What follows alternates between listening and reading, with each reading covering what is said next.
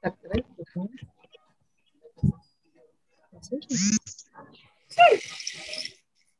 А,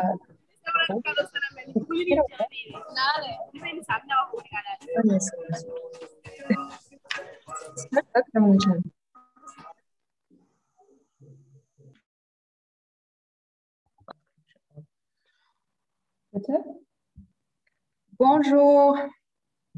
Bonjour à tout le monde.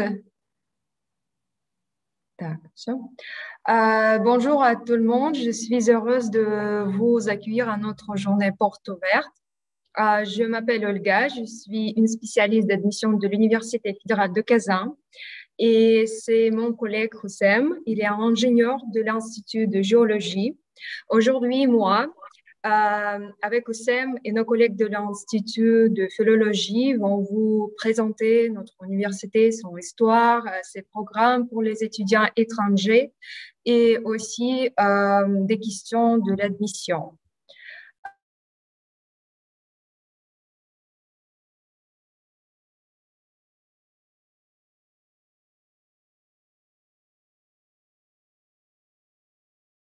conseilleur euh, du recteur pour les activités internationales, euh, Monsieur Latipov. Euh, bonne journée. Euh, on vous écoute. Euh, chers mes amis, bonjour, э, добрый день. Э, От имени ректора Казанского университета и ректората приветствую вас э, в Казанском университете. Bonjour, mesdames et messieurs. Dans le nom de notre université et le recteur de l'Université de Kazan fédérale, je vous accueille euh, aujourd'hui. Казанский университет – это второй старейший университет России, очень престижный университет. Собственно, это вот три императорских университета, статус императорских – это Московский императорский, Казанский императорский и Санкт-Петербургский императорские университеты.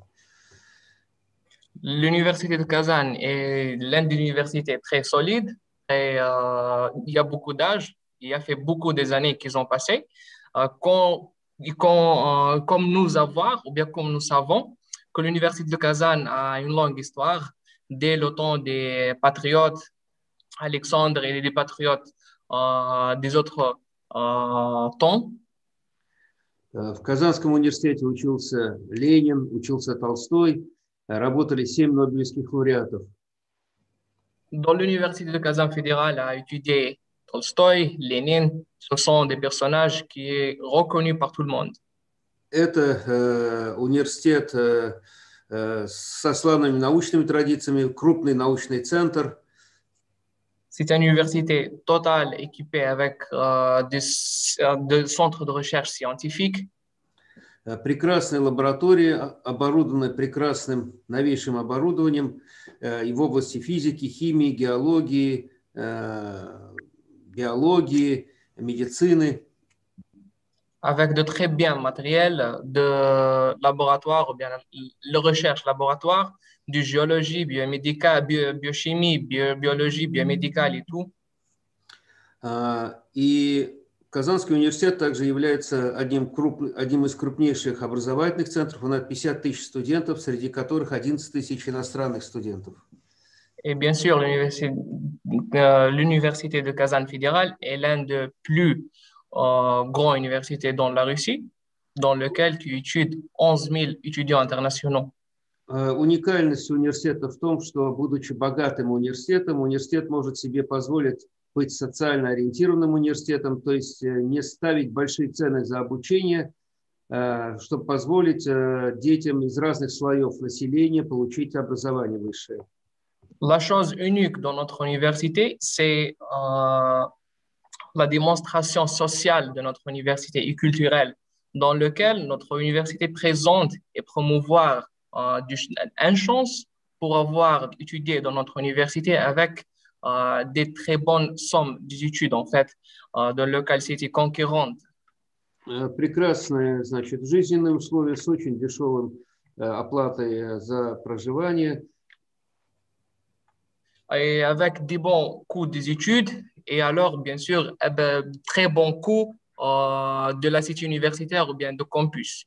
Э, Прекрасные спортивные сооружения, культурной жизни университета. Ну и вообще сам город Казань очень красивый город. Это считается третья столица России. Но что она спортивная столица России, это всемирно признано. Avec très belle, euh, la, la, première chose de la nature, la, la deuxième chose de le, le côté, ou bien le base, bien la base culturelle de notre ville Kazan. Et bien sûr, comme nous savons, la ville Kazan, c'est la troisième capitale de la Russie qui est reconnue par tout le monde. Поэтому рад вас приветствовать и будем счастливы вас видеть среди студентов Казанского университета. Alors, je suis heureux, très heureux pour vous accueillir aujourd'hui et bienvenue euh, dans notre université aujourd'hui, dans, dans notre euh, présentation. До свидания и ждем вас в Казанском федеральном университете. Au revoir et nous vous attendons euh, dans notre université. Merci. Euh, Lénard Naïch, merci beaucoup. Et euh, maintenant, euh, je vais partager avec vous une présentation de notre université pour parler plus en détail de l'histoire de l'université, euh, de nos programmes et aussi de l'infrastructure. Deux secondes.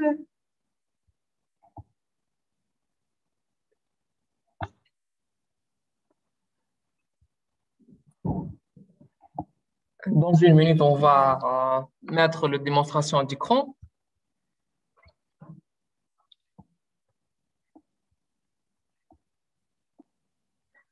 Alors, dans cette démonstration d'écran, on va voir, ou bien, on va parler sur, on va parler sur euh, notre culture, bien sûr, notre histoire de l'université de Kazan.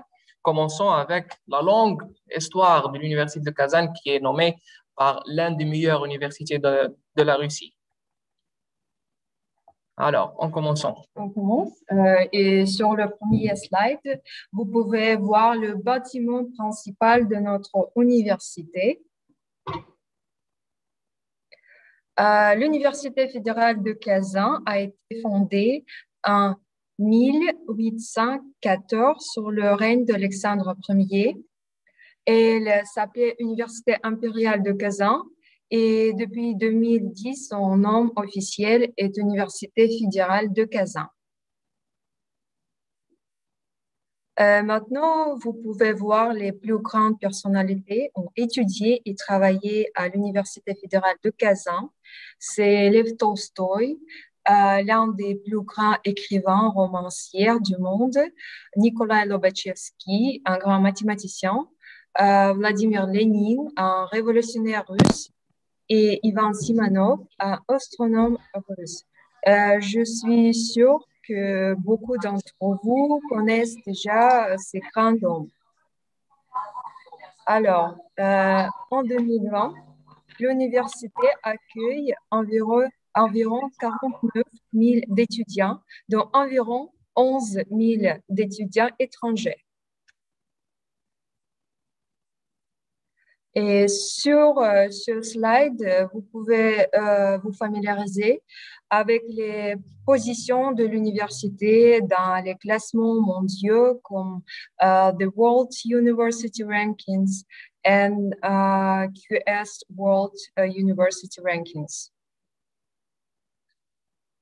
L'université de Kazan a 369 accords de coopération avec des universités étrangères euh, des centres de recherche et d'éducation et des entreprises de 63 pays.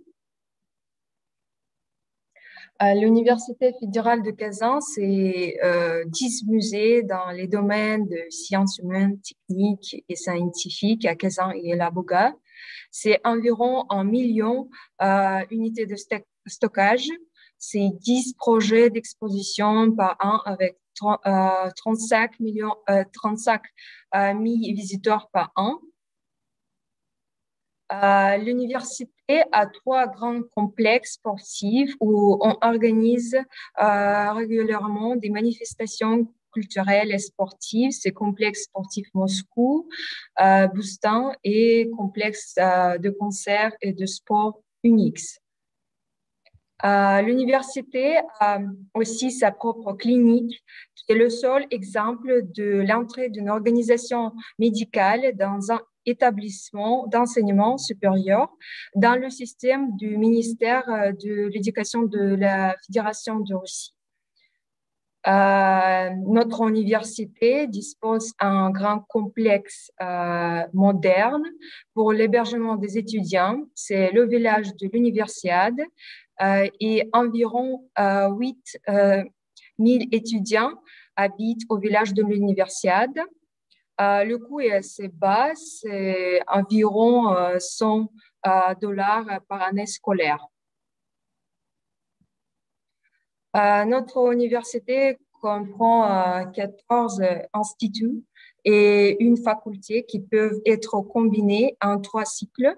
C'est un cycle de sciences naturelles, cycle psychomathématiques, cycle de sciences humaines et sociales et aussi, euh, l'université comprend également deux filiales qui sont situées dans la ville euh, de Laboga et de Nabierjnik-Chelny.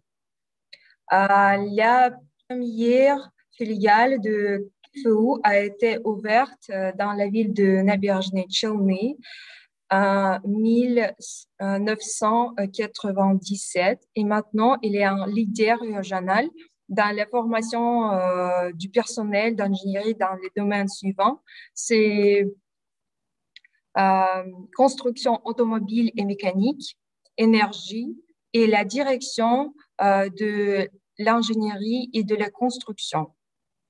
La deuxième filiale de notre université se trouve à La Bouga et elle représente l'un des leaders régionaux dans la formation dans les domaines suivants c'est économie et finances des organisations, psychologie de l'éducation, euh, droit, formation pédagogique, gestion et logistique. Euh, donc, merci pour votre attention. Alors, merci, mes chers collègues, pour votre attention dans cette euh, exhibition ou bien une présentation rapide sur euh, notre université.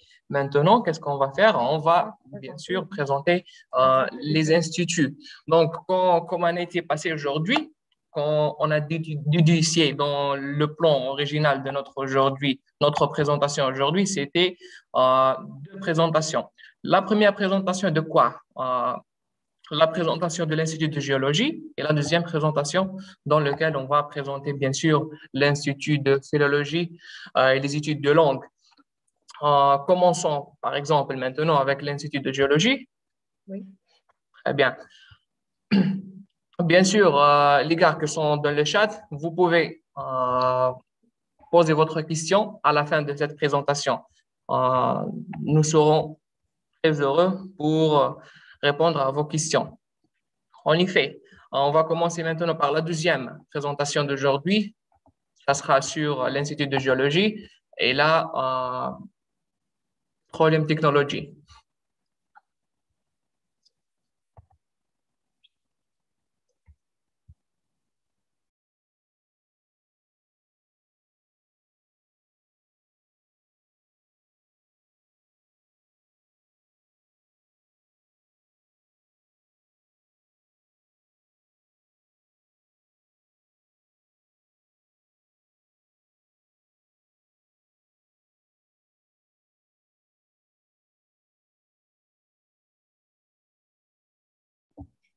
OK, donc mes chers étudiants, on va commencer à vous présenter notre programme de la licence et bien sûr les, programmes de master dans l'Institut de géologie et l'Université de Kazan euh, fédérale.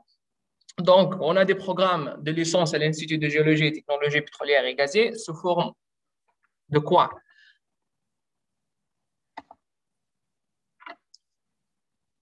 Donc, l'Institut de géologie est technique de pétrolier euh, et gazier, donc Kazan Université. Donc, c'est une euh, méthode et une base fatale pour les correspondants, bien pour les étudiants qui vont avoir une belle qualité euh, de spécialisme, bien sûr, une belle qualité d'éducation.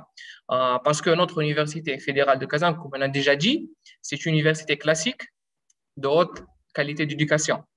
En effet, en parlant sur les technologies modernes, dans notre programme, on va parler justement sur la géologie, la géophysique, l'industrie de, de pétrole et du gaz, études d'ingénierie géologique, bien sûr, et l'hydrogéologie et l'écogéologie.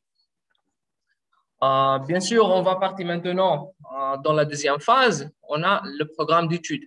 Le programme d'études, par exemple, pour la géologie, pour la licence, on a deux destinations, comment dirais-je? C'est la destination ou bien la formation de géologie et la deuxième formation, c'était l'entreprise pétrolière et gazière. Donc, c'est euh, le développement des euh, champs pétroliers et gaziers. Donc, la première, euh, comme j'ai dit, la première formation, pour avoir l'examen d'entrée ou bien les tests d'entrée, il faut avoir un minimum de points en langue russe 40 et bien sûr en mathématiques 39. Et bien sûr, évidemment, c'est les mêmes points pour être adopté ou bien admis à la programme d'entreprise pétrolière et gazière, dans lesquels on, a dit déjà que le développement du champ pétrolier et du gaz, donc la langue russe et, les mathématiques, c'est principal d'avoir 40 points minimum dans les examens d'entrance. Euh, quels sont les profils de formation en géologie qu'on a? Euh, La première profil, eh bien, la première formation qu'on doit parler sur, c'est euh, la géologie. Voilà, donc la formation géologie, on a dit que déjà, dedans, on a la géologie et géochimie du carburant, on a le minéral, on a la géophysique, on a le génie, géologie et hydrogéologie. Euh, donc, dans deux minutes, je vais être euh, très rapide dans ces, formations. Commençons par la géologie pétrolière. Et gazière Excuse-moi, on va parler bien sûr quels sont les métiers adoptés après avoir la licence en géologie pétrolière et gazière. Bien sûr, vous devez un géologue pétrolier. Euh, qu'est-ce qu'un géologue pétrolier? C'est un spécialiste de l'exploration des champs pétroliers et de gaz. Et bien sûr, sur les sources, euh, d'énergie euh, les plus importantes de la civilisation moderne. Et comme on voit ici dans ces photos-là, le géologue pétrolier, il a la partie pratique quand on dit la partie pratique, c'est euh, dans les champs pétroliers, euh, dans les chantiers et tout. Et la euh, phase théorique, c'était nommé sur la modélisation des champs pétroliers. passons vers quelle profession va avoir les étudiants de cette formation, bien sûr. Donc, les diplômés travaillent dans les principales sociétés pétrolières et gazières en Russie mondiale, dans diverses, diverses régions du mur, en fait, ou bien du monde, euh, ainsi que dans les pays tels que Canada, l'Arabie saoudite, la Colombie, l'Espagne et tout. Et notre étudiant, ou bien ces étudiants en pétrole sont effectivement, bien activement, activement impliqués dans le travail scientifique sur la base laboratoire éducative de notre université. Donc, comme il a dit euh, Latipov, on a une très grande base euh, de laboratoire à sein de notre université. Alors, la deuxième formation dans laquelle je vais euh, expliquer, ça sera la géologie et hydrogéologie. Comme on dit, la géologie, c'est la science de la Terre et l'hydrogéologie, c'est la science de la Terre avec science de la mer parce que l'hydro, c'était l'eau. Voilà, donc euh, après cette formation, euh, le spécialiste, ça sera l'ingénieur géologue. vous aurez un diplôme pour un géologue qui est engagé dans l'ingénierie et l'étude géologique. Donc, l'étude de sciences de la Terre et bien sûr les structures, les structures responsables de stabilité des bâtiments, par exemple, l'hydrogéologie, l'idéalisation de construction et des précipitations, euh, de tout ça. Et quand parlons sur euh, l'hydrogéologie, bien sûr, l'hydrogéologue recherche les eaux souterraines, bien sûr, et les étudiants actuellement, lorsque les sources d'approvisionnement euh, en eau de surface sont contaminées. Donc maintenant, dans 2021, c'est très grande euh, responsabilité pour notre étudiants et pour, pour nous, comme des ingénieurs et des spécialistes, pour avoir une bonne qualité du lot. Et ça, là, euh, la responsabilité de notre hydro, hydrologue. voilà. Euh, passons vers la troisième formation. La troisième formation, c'est la géophysique. À quoi ça sert la géophysique? C'est l'exploration de la Terre à l'aide des méthodes physiques. Quand on parle sur la méthode physique, on a, très, euh, on a trois euh, méthodes principaux. Quelles sont? La gravité, l'électricité, le magnétisme. Donc, le géophysicien, dans notre monde maintenant et dans le 2021, donc c'est des statiques, ce sont les spécialistes le plus, plus, plus requis dans notre monde ou bien dans notre euh, formation pétrolière. Donc, dans n'importe quelle compagnie, dans n'importe quel domaine, ils ont besoin d'un géophysiste. Donc, c'est une très bonne euh, formation. Passons à donc le profil de géophysique. Quelles vont euh, les compétences vont être réduites comme nous, a, comme nous a dit déjà, les étudiants sont formés sous, sous la direction d'enseignants hautement qualifiés, c'est notre université. En cours de formation, des équipements modernes, comme vous, comme vous voyez euh, dans ces photos, euh, il y a des équipements qui sont déjà euh, importés et, comment dirais-je, sous euh, le souvent, sous le et la sponsorisation avec des euh, hautes qualités compagnies du monde, comme Schlumberger, Weatherford, Morocco, euh, Cameroun, comme, comme j'ai dit, Gazprom et tout. Donc, c'est les programmes qui travaillent dans ces compagnies. On a ces, travail, ces, programmes de notre université. Bien sûr, vous, quand vous, être, quand, vous, quand vous allez être comme notre étudiant, bien sûr, vous allez utiliser ces programmes. Donc, vous, les spécialistes de cette compagnie, vous aurez dans le même niveau. Et bien sûr, euh, comme, comme déjà j'ai dit, notre université, c'est dans le top 10 d'universités euh, ici en la Russie. C'est pas, ici, je n'ai pas dit, c'est la top 1. Voilà, parlons euh, très, très, très basiquement et très fatal sur euh, le, géologue, ou bien la troisième formation qu'on a. La troisième formation qu'on a, c'est la géologie. Donc, une personne géologue, c'est un spécialiste de l'étude de la composition et la structure de roches euh, à de prospection et d'exploration des gisements minéraux. Donc, l'exploration des minéraux, l'exploration d'eau, l'exploration des gisements, bien sûr, et euh, leur exploitation. Voilà donc ces photos qui expliquent euh, l'activité des étudiants ont euh, adapté dans notre institut. Donc, c'est le, le, parti laboratoire de leur travail ou bien de leur formation. Ce, profil, c'est très bien axé sur les connaissances et les compétences modernes dans les sections fondamentales de la paléontologie euh, et de la stratigraphie. Et quand nous savons, aujourd'hui, la stratigraphie, c'est très important pour un géologue. Alors, euh, on a aussi, euh, comment dirais-je, autre formation qui est très bien classée dans le monde pour notre université et sincèrement pour notre institut, c'est la minéralogie. qui est un minéralogue C'est donc c'est la personne qui étudie la composition, les propriétés et les structures de conditions de formation des minéraux. Donc, euh, c'est le personne ou bien le spécialiste qui convient entre la chimie des minéraux et la minéralogie. Donc, c'est un, comme je dis, un personnel qui est très bien classé euh, pour cette, pour cette euh, activité ou bien cette, cette formation. Euh, et les plus importants, donc on a parlé sur la phase géologique, donc un spécialiste qui va adapter un programme de, géologie, on a une autre formation qui est nommée développement et exploration de gisements d'hydrocarbures. Comme comme été déduit maintenant dans le monde, euh, l'énergie est très requise. Et comment avoir l'énergie? Donc, ce n'est pas l'électricité, ce n'est pas euh, d'autres sources d'énergie, c'est bien sûr l'hydrocarbure. Quand nous parlons d'hydrocarbures, on a presque euh, exploré, ou bien on a, on a produit presque 35% de la totalité de, de, la totalité de volume d'hydrocarbures.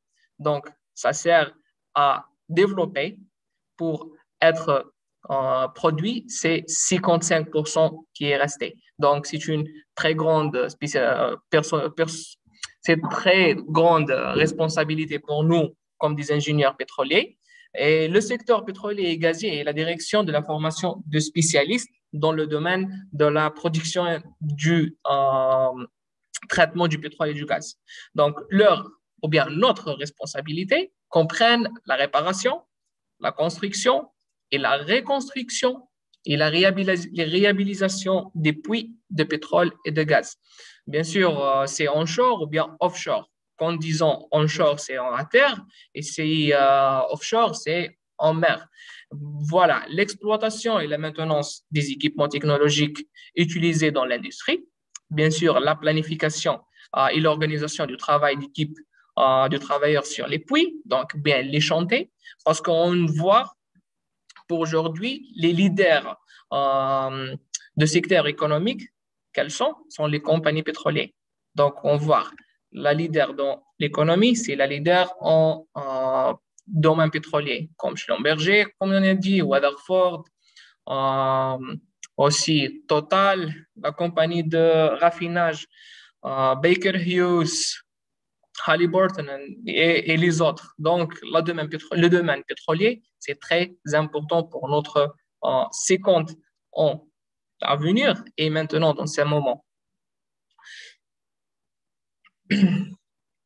Euh, donc, après avoir euh, notre diplôme de notre université, quelles sont les chances à avoir Quelles sont les chances? Donc, c'est une question, ou bien c'est une question posée par tous les étudiants. Après avoir le diplôme de l'Université de Kazan. Et après ça, qu'est-ce que je vois?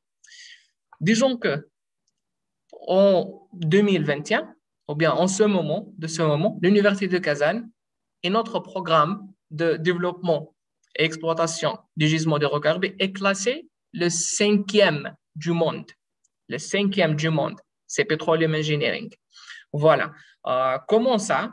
Et alors, quels sont euh, les avantages de spécialistes qui est diplômé dans notre, euh, ou, bien avoir, ou bien a eu le diplôme de notre université? Bien sûr, la totalité, ou bien le communicabilité, le nouveau niveau éducatif de ces personnes-là qui peut être transmis en offshore, en mer, ou bien onshore, sur un chantier, donc sur la terre, dans grand faisceau des euh, domaines et des, secteurs, bien sûr, si la personne qui va être ou bien qui va travailler dans des compagnies qui euh, des géophysiciens, recrutent des géologues, des hydrobiologues, des ingénieurs pétroliers du gaz. Donc, c'est là votre travail.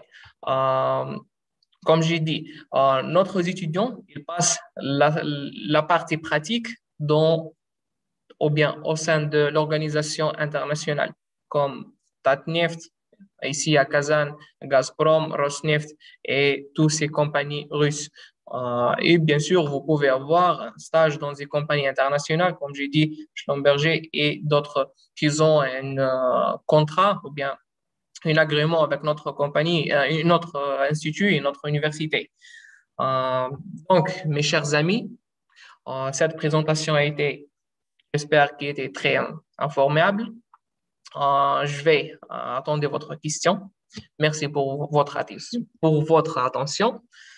si vous avez des questions, bien sûr, n'hésitez pas à les, les, poser dans cet email ou bien vous pouvez me contacter directement par le numéro de téléphone. Merci beaucoup pour la présentation très détaillé de l'Institut de géologie. Et on n'a pas dit que tu es un étudiant étranger. Peut-être tu peux partager ton euh, expérience personnelle. Bien sûr, euh, merci pour cette question, Olga. Maintenant, je suis un étudiant de l'Algérie. Donc, j'ai venu ici à Kazan, euh, c'est en, en 2018. Donc, dans une année, j'ai étudié la langue russe. Et après ça, j'ai postulé au niveau de l'Université de Kazan. Euh, dans ce moment, quand j'ai euh, pensé à quelle université je dois postuler, ou bien quelles sont les chances que je dois avoir après avoir ce diplôme d'université, Donc, j'ai très bien pensé, j'ai des plans et bien sûr, je les réalisés. Parce que, étudiant de l'Université de Kazan, vous allez avoir, la premièrement, la euh, relation culturelle, bien sûr, parce que la relation culturelle ici, ici dans la, Russie, principalement, il est ici dans la euh, République de Tataristan. Et comme vous euh, savez, le nord d'Afrique est musulman. Donc, ici, l'islam, c'est le premier, la, première religion de cette partie. Et c'est très bien c'est très confortable d'avoir une étude ici, et bien sûr, une famille, bien sûr. Euh, c'est après ça, j'ai des plans pour 10 ans euh, en venir pour avoir un diplôme russe en Kazan pour avoir un master en Kazan et après ça, bien sûr, de continuer le PhD ici en Kazan. Et maintenant, euh, on voudrait donner la parole à notre collègue, une maître de conférence euh, en, théorie, et pratique euh, de l'enseignement des langues étrangères pour présenter l'Institut de philologie et des communications interculturelles. Olga Fyodorovna, bonne journée. Est-ce qu'il y a l'Institut de philologie? Est-ce qu'il y a des collègues de l'Institut de philologie? Alors bonjour. Bonjour. Bonjour à toutes et à tous. Je suis euh, professeur de français et je voudrais bien euh, présenter alors notre institut, Institut de philologie et de euh, communication interculturelle. Voilà. Alors, je commence un petit peu alors par l'histoire de notre institut.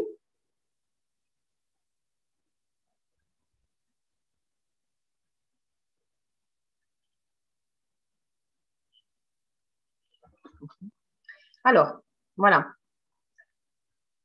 L'Institut de philologie et de communication interculturelle a une longue et riche histoire qui remonte à l'année 1804, l'année de la fondation de l'Université impériale de Kazan, et l'Institut de philologie de communication interculturelle est issu du département de lettres, qui a été l'un des quatre premiers départements au sein de l'université. Aujourd'hui, l'Institut de philologie de communication interculturelle est l'un des principaux et des plus grands instituts de l'Université fédérale de Kazan, qui a pour vocation de former des professionnels dans les domaines des langues russes, tatars, espagnols, chinois, allemands, turcs, français, ainsi que de la, littérature, de la culture, de la musique et du design. Environ 200 programmes d'études sont mis en œuvre et plus de 4800 étudiants de plus de 30 pays font leurs études à l'Institut. Il faut dire euh, qu'en 2020, l'Université fédérale de Kazan est classée dans le top 250 en linguistique parmi les meilleures universités du monde et dans le top 250 en, en éducation selon le classement mondial des universités.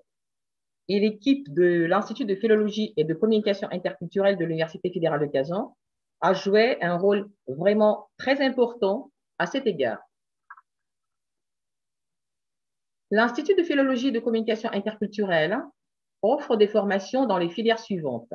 Lettres, formation des enseignants, ou formation pédagogique, design, enseignement professionnel, linguistique.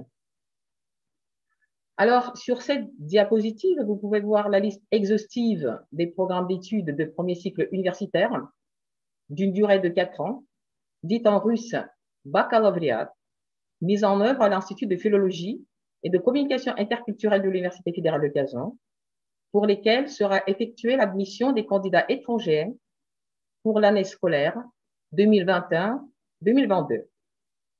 Le baccalauréat représente le premier niveau d'études universitaires, le premier cycle, qui mène au grade de bachelier. On peut dire que, ça correspond à licence en France. L'admission à l'Institut de philologie et de communication interculturelle se fait sur concours et le concours d'entrée comporte deux épreuves. Alors, euh, je voudrais parler d'une manière plus détaillée des programmes cités qui jouissent d'une grande popularité parmi nos candidats étrangers. Euh, et je voudrais bien signaler que les cours se dérouleront en présentiel.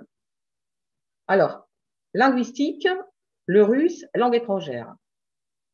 La particularité de ce programme consiste en ce que les apprenants de niveau débutant commencent à étudier la langue à partir de l'alphabet.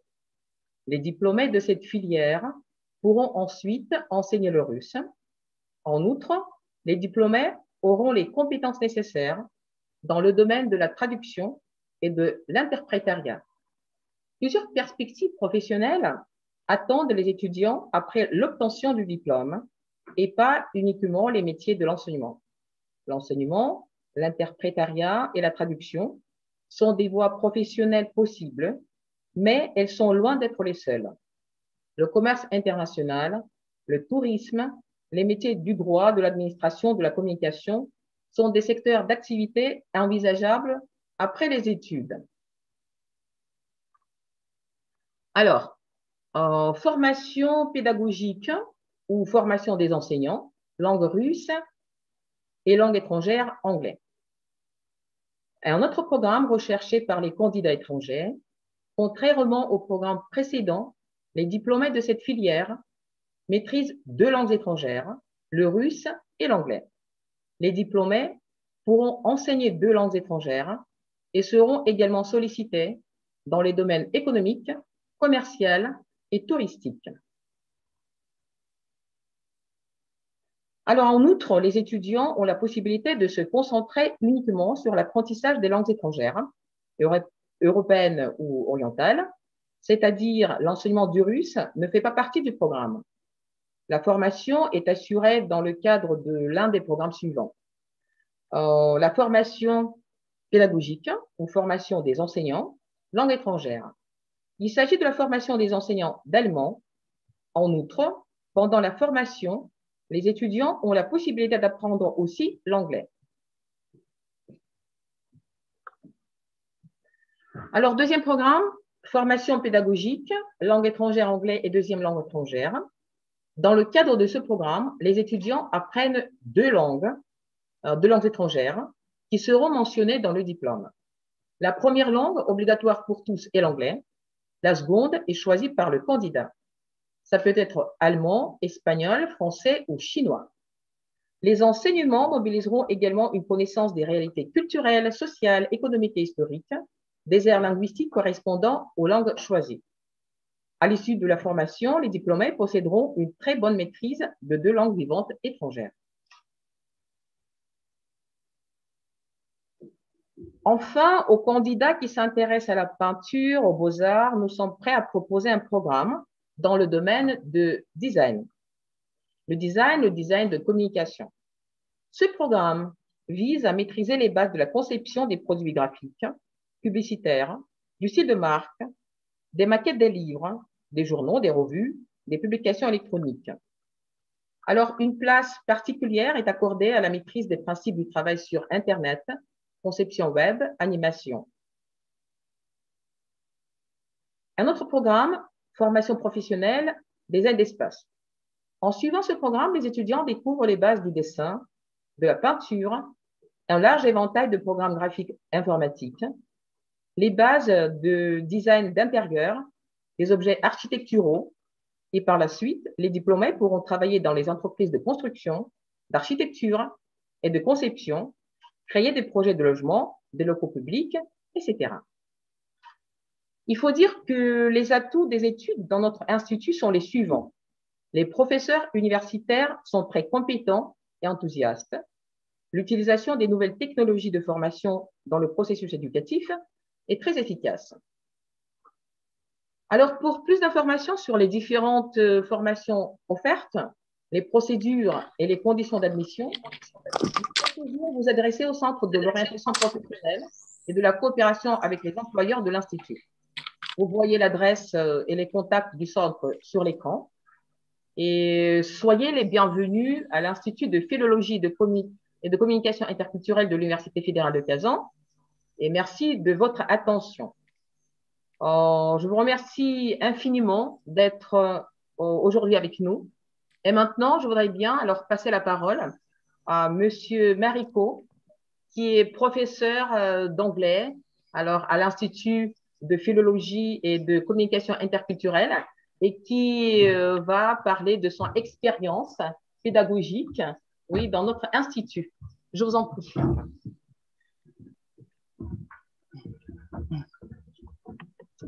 Alors, euh, salut tout le monde.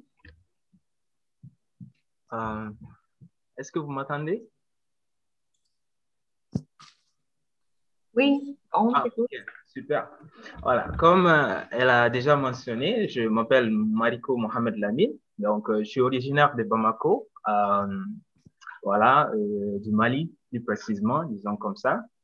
Et voilà, ça fait cinq ans que je suis déjà en Russie et c'est ma deuxième, deuxième année à l'Université fédérale de Kazan. Et voilà, je travaille en tant que professeur d'anglais. Et en même temps, voilà, je prépare une thèse en linguistique comparée. Donc, euh, je compare les textes français aux textes anglais et russe.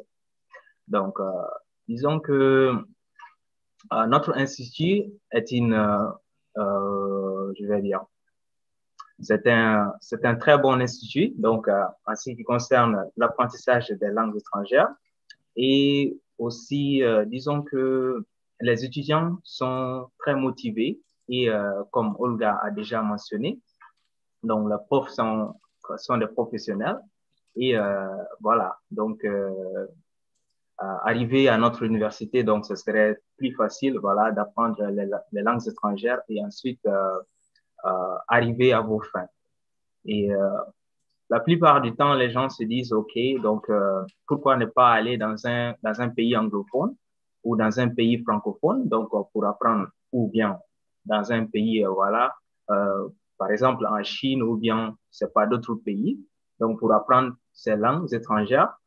Mais je pense que euh, qu'en Russie, donc vous pouvez vraiment atteindre vos objectifs, puisque je suis un exemple frappant.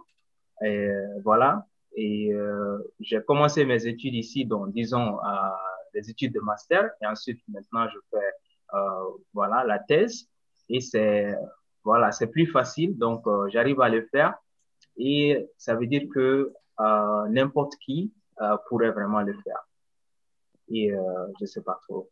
Donc, c'est, un tout petit peu ce que je voulais vraiment. Uh ok, d'accord. Je vais passer la parole à notre étudiant international algérien, euh, Yuba. Comment il s'appelle? Euh, bon, Bonjour à tous. Bonjour. C'est Yuba ici ou quoi? Euh, Vous m'entendez? Oui. Bonjour à tous, je m'appelle Yuba et je suis algérien. Je suis venu ici en Russie, euh, ça fait deux ans, et je me suis inscrit à, à l'université de Kazan, euh, plus précisément à, l'institut, euh, à l'institut, euh, à l'institut, de philologie et euh, de multiculturel et tout. Donc, ce que je voulais dire, je voulais juste partager avec vous mon expérience et je vais essayer aussi de vous montrer quelques amphithéâtres, quelques, euh, quelques classes chez nous, afin de voir euh, un peu euh, l'université en général. Et donc, commençons.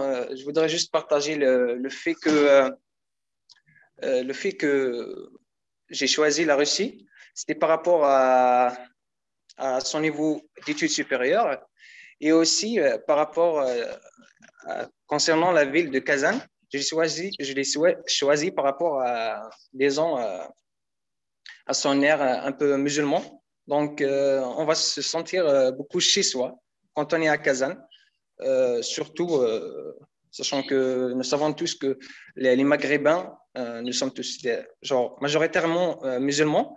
Donc, du coup, c'est pour cela que j'ai choisi cette ville-là. Et Bon, en bref, euh, depuis mon arrivée ici en, Russie, bon, je dois vous, vous admettre qu'au début, c'était un peu dur, euh, sachant que en Afrique du Nord, nous n'avons pas cette chance-là d'apprendre le russe. Donc, c'était un peu dur le départ. Mais rien n'était impossible. Quoi. Et aujourd'hui, après deux ans, 18 mois plus précisément, j'arrive à parler couramment et sans aucun souci. donc, ce que je vais faire. montre-nous votre place, bien la place que tu, tu es maintenant. Je vais essayer de voilà, changer. Comme ça, je vais essayer de vous montrer un peu euh, ce petit couloir-là. Ce n'est qu'un exemple de notre université et notre euh, institut. Donc, euh, je dois admettre que notre université, elle est équipée des technologies tellement supérieures que je pense que vous pouvez voir par vous-même. Donc, notre université est équipée de toute technologie, des dernières possibles. Euh, voilà. Donc, des micro-ordinateurs, des data shows et tout ce qu'un étudiant a besoin afin de euh, construire et réussir son parcours étudiantin. Ensuite, euh, je dois aussi vous, euh, montrer euh, quelques espaces comme celui-ci. Vous voyez bien, ce n'est pas un espace là où on étudie, mais c'est un espace de loisirs, un espace de repos, tout simplement. Et c'est un espace équipé de la dernière technologie 3D. Donc, comme vous voyez ici, vous pouvez euh, constater que, voilà, genre, la majorité des étudiants, euh, parfois, nous, nous, organisons ici, euh, voilà, des, des conférences, nous organisons des, des documentaires et nous, nous avons la possibilité de visionner ces derniers par la dernière technologie possible, qui est la 3D. Ensuite, je vais essayer de vous montrer encore euh, une autre salle. Celle-ci, c'est la salle, salle euh, technologique. Bon, actuellement, tous les étudiants sont dehors parce qu'il fait un peu tard. Mais comme vous voyez, vous pouvez euh, réaliser par vous-même que l'université de Kazan n'a pas eu son statut de l'une des meilleures universités au monde pour rien. L'université de Kazan est équipée de toute dernière technologie et euh, équipée de tout ce qui est nécessaire euh, pour les étudiants afin de euh, percer et percer le, domaine d'études et afin de réaliser leurs projets étudiantins. Donc, voici quelques, voici quelques projets réalisés par nos étudiants. Voilà. Ce sont des technologies simplement réalisé ici euh, par les étudiants. Voilà. Donc, euh, qu'est-ce que je vais vous rajouter? Je pense que, en bref, c'était ça ce que je voulais vous partager avec vous. Mais aussi, euh, je tiens vraiment à vous, vous montrer à, quel point cette université prend en charge l'étudiant, son étudiant, le prend au sérieux et fait de son mieux afin que l'étudiant se sente chez lui et afin qu'il réussisse et, qu'il réalise ce qui est venu pour. Donc, euh, comme, vous dites, euh, comme vous dites en Tunisie, euh, cette université est Barça Barça bonne. Donc, je vous laisse et n'hésitez pas à choisir notre université et notre, et notre institut. Au revoir. Merci beaucoup. Merci beaucoup, le frère Yuba, pour euh, partager euh, l'idée euh, générale sur l'Université de Kazan et votre institut. Oui, merci. je crois qu'on a déjà fini avec tes présentations et maintenant on a du temps pour répondre à toutes vos questions. on commence. Voilà, commençons par la première question du Daouda Silla. Elle a posé la question, a posé la question sur les processus d'admission en année préparatoire. On commence à accepter des documents pour euh, l'année préparatoire à partir du 1er mars sur notre site officiel. Vous pouvez le trouver sur Internet. Il faut que, écrire l'Université fédérale de Kazan.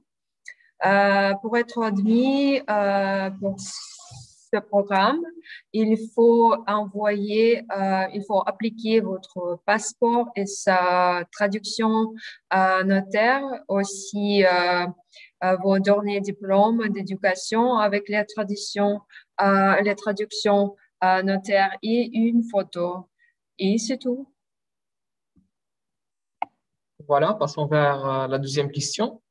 Euh, c'est la même personne, bien la même personne qui a dit la date d'admission. Euh, comme je l'ai déjà dit, comme j'ai, euh, comme bien sûr Olga a déjà dit, la date d'admission, ça sera à partir du 1er mars. Et vers fin juin. Voilà, donc la fin de juin, ce sera la clôturation de la saison d'admission. Pour, pour le programme de l'année préparatoire. Voilà. Donc, les critères pour l'admission. Mais franchement dit, ça dépend des programmes. on va donner ici une euh, réponse générale. Voilà, pour avoir admis ou bien pour être admis dans notre université, il faut avoir euh, un niveau d'éducation. Voilà, quand on dit le niveau d'éducation pour adopter ou bien pour être admis pour la licence, bien sûr, tu dois avoir également euh, le bac, certificat de bac, c'est high school. Avec la traduction officielle en russe. Bien sûr. Donc, la traduction du passeport, la traduction du bac, si vous allez intégrer la licence, euh, et c'est tout. En fait, euh, une photo, donc c'est recueilli. Euh, bien sûr, pour être admis en master, qu'est-ce qu'il va voir? Bien sûr, le bulletin du bac, ou bien le certificat du bac, les bulletins et les certificats de la licence, avec la traduction notarisé, bien sûr, mhm. euh, et le passeport, en fait. Et pour avoir le PhD, ou bien le doctorat, euh, ce sera un complément du document. Ce sera le passeport, le bulletin et le certificat du bac, bulletin, certificat euh, de la licence, le bulletin et certificat de master. Et qu'est-ce qu'il y a ici Les publications? Voilà, bien sûr, une publication que vous avez, des publications dans des sites mondiaux, par exemple Scopus et Web of Science, ah, et c'est tout.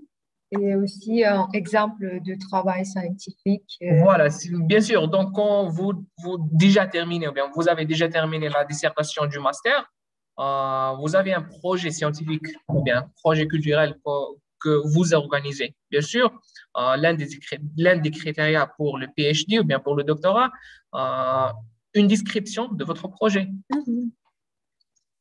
Bien sûr, on a maintenant une nouvelle question. Euh, c'est de Rodrigue Greco-Sam.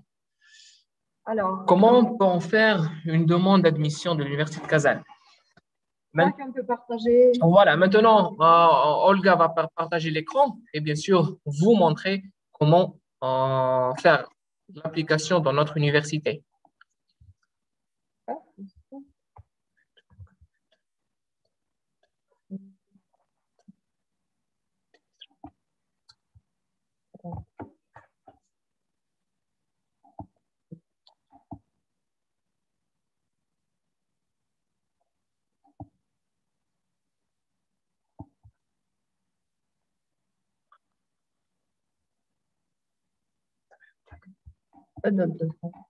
Donc, vous pouvez écrire euh,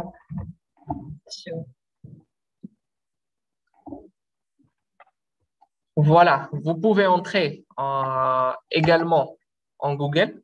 Qu'est-ce que vous allez, écrire? Vous allez écrire ces mots-là. Boudou Studentum Kafou, ou bien en langue française ou bien en langue anglaise, c'est la même chose. Vous allez écrire Boudou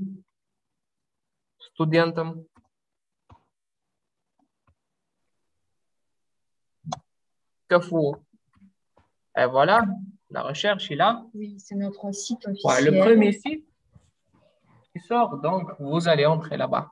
Il y a deux versions, en russe et en anglais. Euh, donc, je crois qu'on va partager en anglais. Euh, donc, euh, il faut, tout d'abord, il faut enregistrer. c'est une application pas très compliquée.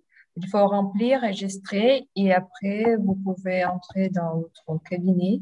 Euh, donc, euh, et vous pouvez appliquer tous les documents par ce site.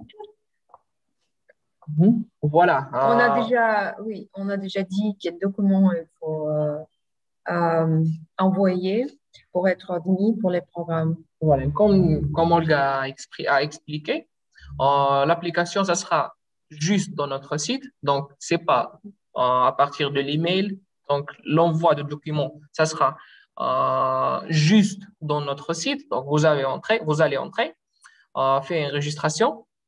Et après ça, vous devez euh, uploader votre document là-bas. Et seulement. Maintenant, passons vers euh, la troisième question, bien la quatrième question. Voilà, on va allumer la caméra. Donc, la question.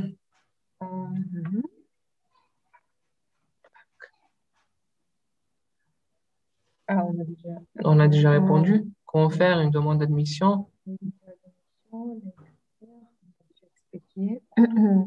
Voilà, comment obtenir l'admission à l'Université de Kazan, s'il vous plaît? Euh, C'est la question de la part de Prosper. Euh, comme on a déjà dit, pour avoir admis par l'Université de Kazan, il faut avoir un certificat de langue russe. Si vous n'avez pas le certificat de langue russe, on vous propose euh, une année préparatoire de langue russe également. Après la terminaison, ou bien après le euh, après l'étude en, année préparatoire, également, vous pouvez adopter et être admis dans notre programme principal. Par exemple, vous pouvez entrer dans le site de l'université, trouvons une grande liste, euh, une large liste sur les euh, filières et les formations qu'on organise dans notre université, vous pouvez choisir. Alors, euh, une autre question. N'y a-t-il pas de, de, bourse totale ou partielle à l'Université de Kazan? On n'a pas de bourse pour les étudiants étrangers, mais c'est possible d'envoyer votre application pour la bourse d'État russe euh, il y a un site officiel, il s'appelle euh, Education in Russia. Mhm. On va partager avec vous une ligne.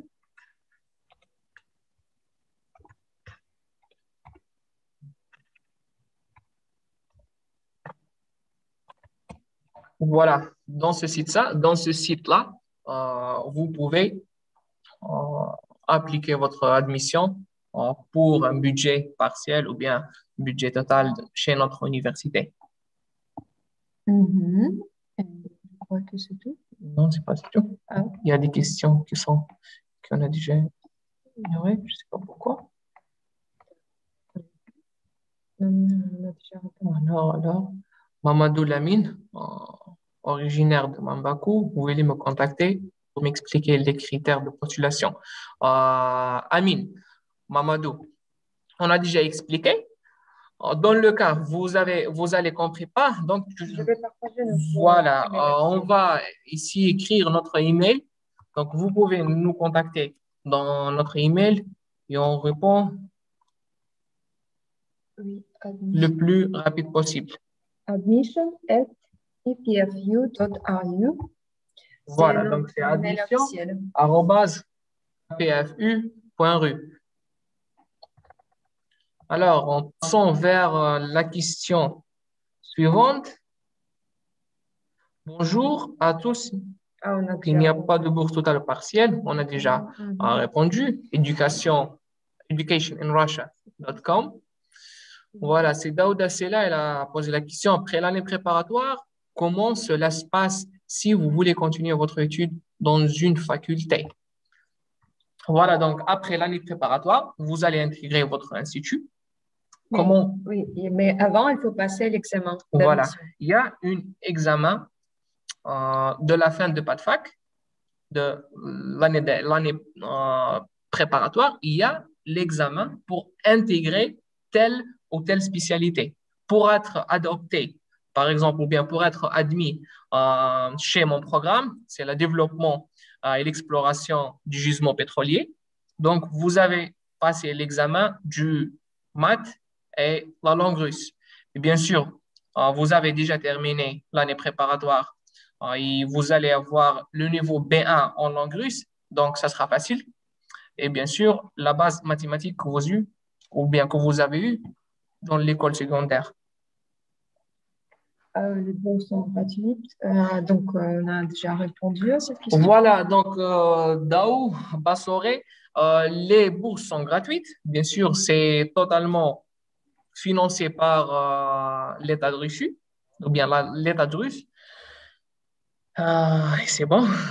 Donc, vous entrez dans le site. Alors, la formation, c'est pour combien d'années? Ça dépend du programme. Si c'est euh, l'année préparatoire, c'est la duration, c'est une année. Si on parle de licence, c'est généralement c'est quatre années. Euh, on a aussi un programme de euh, spécialiste, ça dure cinq années. Et des programmes de master, c'est deux années.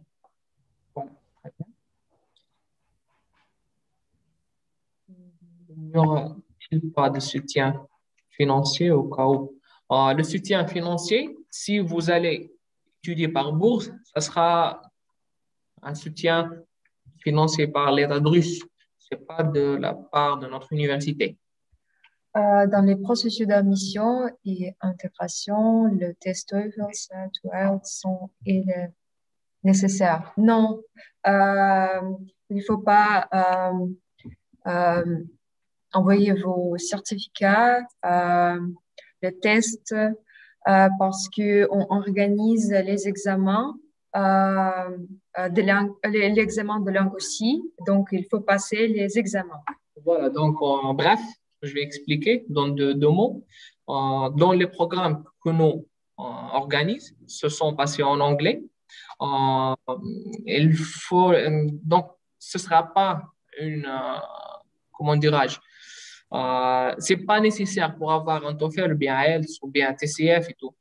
Euh, pourquoi? Parce que notre université a donné euh, le chance, bien la chance pour adopter cette langue chez nous.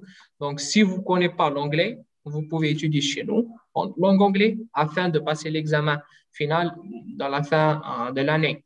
Et bien sûr, pour intégrer un programme en anglais, ce n'est pas nécessaire d'avoir l'IELTS ou bien le TOEFL, on va dans, dans l'interview, on va tester votre anglais d'anglais, euh, niveau d'anglais.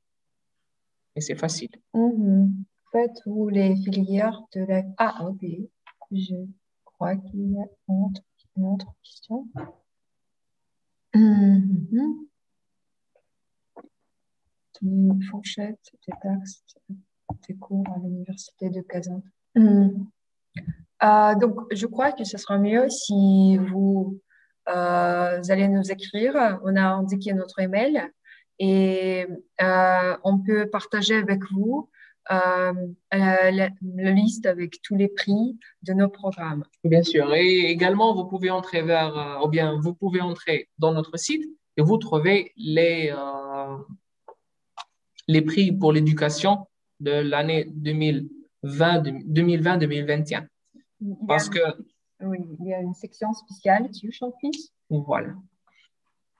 Passons vers euh, la question suivante. Faites-vous les filières de la finance, comptabilité et gestion? C'est la question de iPhone. Voilà. Euh, c'est pour vous cette réponse. Bien sûr, notre université une grande université dans le, dans le monde, bien sûr, qui euh, organise ces filières-là la finance, la comptabilité de gestion. Je vais donner un petit statique. Notre université, c'est la première en russe dans cette filière dans, de finance, comptabilité et gestion. Je crois qu'on a répondu à toutes questions. Voilà, si euh, vous avez des questions ou bien des autres questions, n'hésitez pas à les laisser là dans le chat. Et bien sûr, voilà, on a maintenant une autre question. Parlez-nous un petit peu de la ville de Kazan.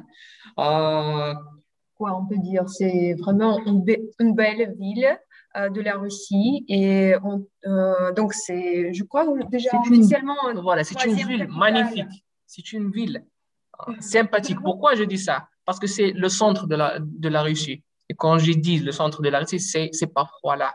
Et la troisième capitale. Voilà, donc c'est nommé la troisième capitale de, de la Russie, c'est pas pour rien. Ah, coût de la vie, euh, c'est Mhm. environ, je crois, 15 000 roubles, euh, roubles euh, par euh, mois. par mois. Donc, Oui. disons, disons 150 dollars à 200 dollars par mois pour une personne, pour une personne, c'est suffisant dans le mois pour être adapté à la ville russe ici. Est-ce que les étudiants étrangers ont le droit de concilier travail et études? Euh, bien sûr, les étudiants étrangers ont euh, le droit de travailler, mais d'abord, et avant ça, il faut avoir, euh, il faut avoir une consultation chez notre département de travail et de visa. Ils vont vous expliquer ces procédures, bien sûr, parce qu'il y a des, quelques lois qui sont avec et contre l'étudiant, bien sûr, mais je dis que euh, l'université peut euh, vous promouvoir, vous donner une place de travail. Voilà, donc euh, les gars, si des questions, s'il y a des questions, donc n'hésitez pas à écrire dans l'email et bien sûr, bien sûr, on va répondre le plus rapide c'est possible? Euh, Bien sûr.